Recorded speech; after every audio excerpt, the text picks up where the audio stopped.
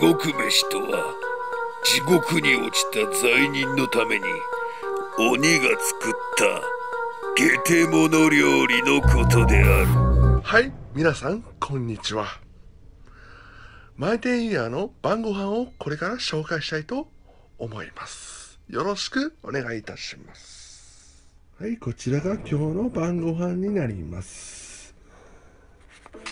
こちらお納豆でございます。武蔵府中納豆けやき香る煙炭火作り。国産国産大豆100%日本の農業と食生活を応援しています。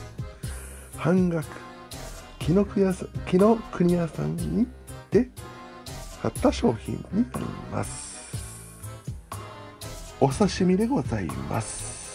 わさび醤油でございます。スーパーで買いましたイカのお刺身ですこちらお肉野菜炒めそしておいわしと梅煮ですそしてこちらが白いご飯。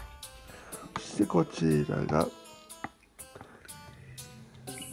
伊藤園充実野菜人参がたっぷりの野菜ジュースとなっておりますこちらのコップはプロテインなどをシェイクして飲むものとなっております。このコップを使ってジュースなど飲み物を飲んでおります。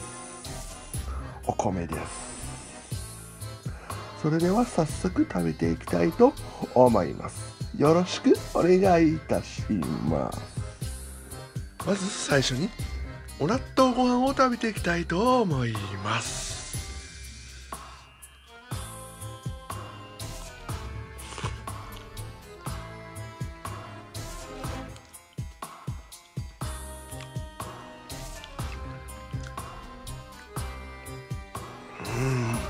美味しいですね。納豆はほのかに甘みのある納豆でございますね。普通のより甘みのある納豆でございます。それでは続いて肉野菜炒めを食べていきたいと思います。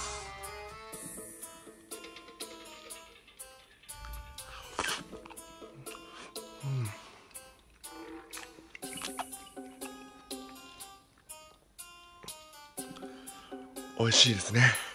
続いておいわしの梅煮を食べていきたいと思います。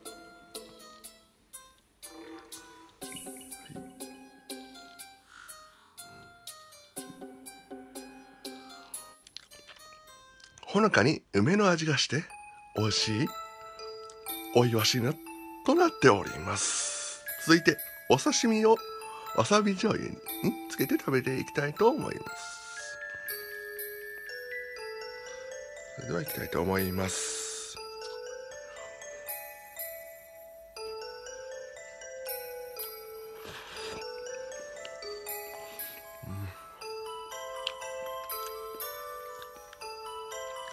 とても美味しゅうございました。